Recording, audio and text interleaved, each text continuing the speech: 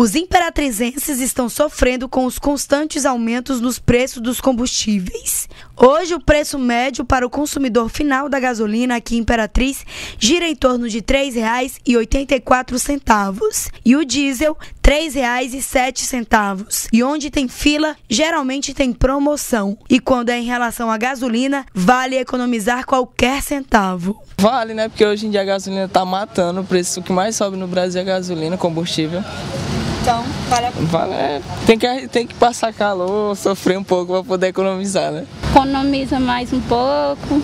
Os postos com o preço mais em conta, a gasolina sai em média R$ 3,55. Mas para abastecer mais barato, é preciso ter paciência, pois a fila é grande. Neste posto passa uma média de 90 carros por dia. Do preço que tem para cima, está muito caro para cima aí, tem tá acima do valor muito.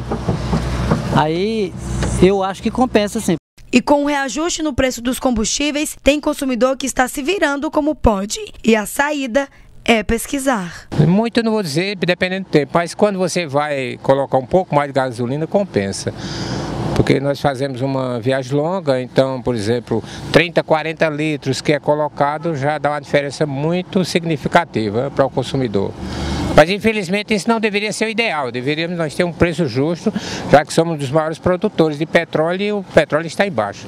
Nós não deveríamos pagar essa crise que está ocorrendo aí no, no país.